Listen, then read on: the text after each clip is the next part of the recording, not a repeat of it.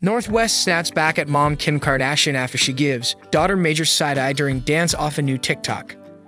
Kim and North stood in front of their bathroom mirror with seven different hair products in front of them. North was performing some over the top lip syncing for the camera, and at first, the Skims founder looked concerned and gives her daughter a major side eye.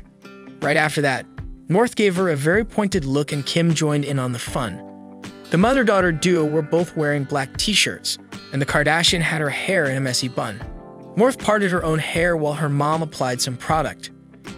Kim was obnoxiously chewing a large piece of gum throughout the entire video.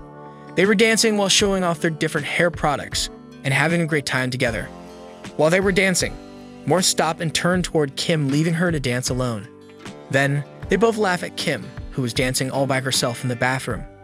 It's clear they do this hair routine often because they have the procedure down pat.